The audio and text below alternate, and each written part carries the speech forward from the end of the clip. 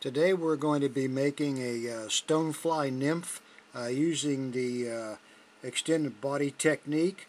First of all, go ahead and apply a very liberal amount of silicone.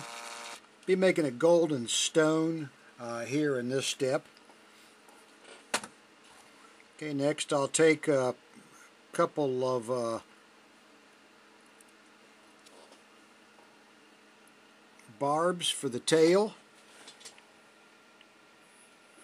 Lay those on where they're captured and at the right length.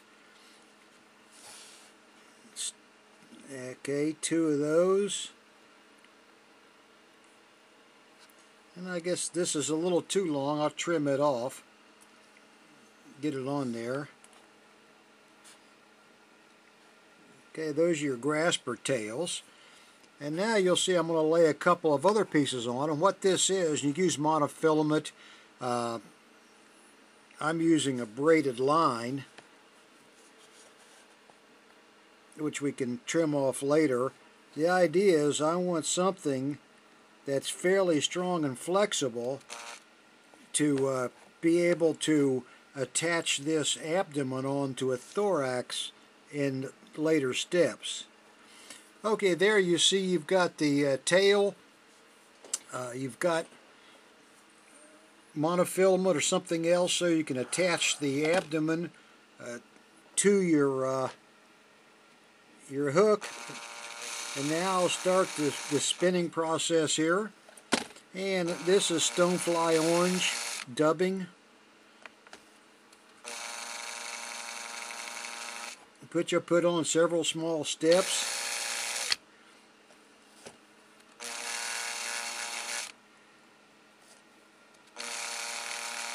Okay, and now I'm going to, that's looking pretty good, but now I'm going to add more silicone on it.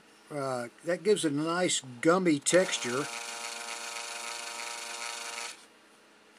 and helps uh, make it be a much stronger fly. You see right there, I'll smooth that out. And now I'm going to do another step here. And that step is I'm going to rib the fly and I've tried several techniques for ribbing it. Uh, basically, what I'll do is start it just like that. Okay, bring that rib over. I'm going to snip that off there, push it into the silicone, snip that off, push it in, and I'll trim those pieces off later. So that ends making that. So the point now is you just grab it, slide it off the mandrel, and set it aside to dry. You could either use any number of hooks. Uh, I'll go ahead and use a scud hook. I really like the way they hook. Uh, I like that wide uh, gap you get. So I'll go ahead go ahead and start this. Trying to tie it while I'm peeking around the uh, the camera. My biggest challenge in doing this has been in trying to find a way to tie uh, while I'm peeking around a camera, which is between me and the vise. But you can get the idea. Okay, right here we'll go.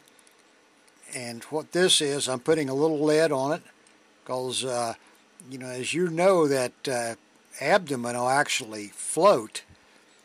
And so this gets it down and I really like to have a stonefly that drops naturally.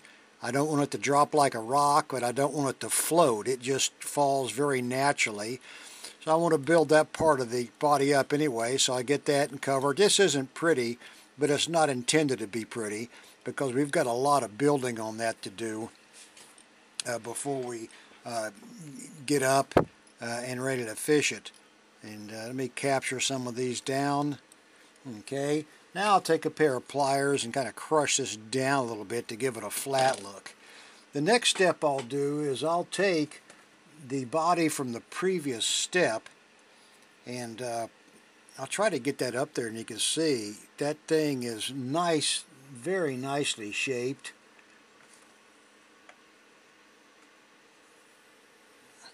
And it's very, I'll get it up here where hopefully you can see it.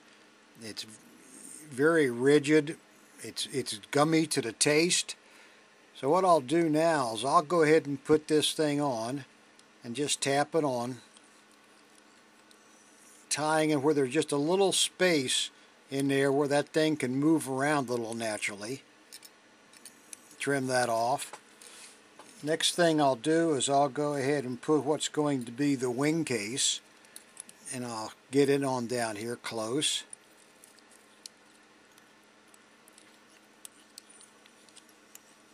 Okay. Next step is I'll take the material I'm going to use for the legs and you can use any number of materials to make leg from uh, from grouse to uh, synthetic fibers. You know, it, I don't know if it matters a whole lot uh, in this. Well, I mean, it matters some. You got to have it to be somewhat realistic. I like this flash we got here. I'll go ahead and keep turning that. Get that filled up to what I want to be for an abdomen. Easily throw dubbing over it at, at this point if you wanted to. Uh, I'm not going to do that. Uh, what I'm going to do now is take what I'll be using for the leg material, wrap it over, bind it down, and then after I bind it down, I'm going to smooth it back, get a couple of turns up front. Uh, again, not, not fancy, not beautiful necessarily, but you'll see in a minute it'll be entirely functional. Uh, I'll go ahead because it's got plenty. I'll trim those off the top. I'll probably be trimming some more to make it look more like the natural. Go ahead, finish the head, that off, get a whip finish tool, go ahead and whip finish this thing.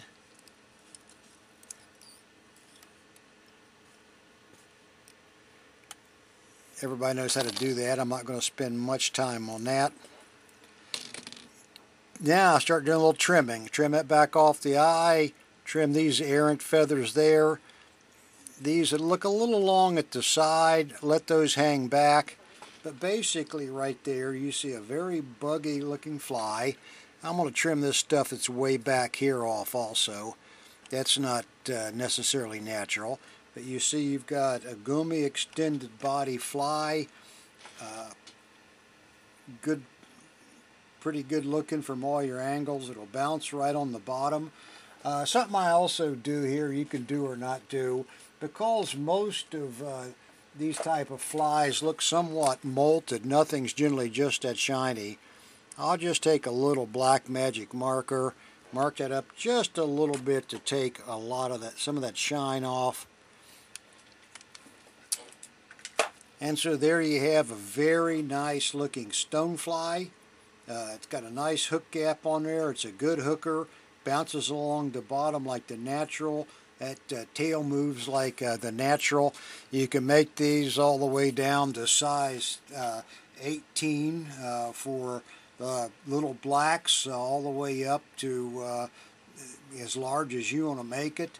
Uh, this right here is about the size of the uh, golden stones that we find here on the east coast and I'll just say it's very uh, it's very effective. what I generally do on that abdomen is I'll since I don't use a lot of these flies when I tie them up I only tie up a dozen or so bodies come back in three or four hours and and uh, they're done. And uh, they've uh, hardened enough to be able to uh, go ahead at that point and then uh, finish the fly. that ends this lesson.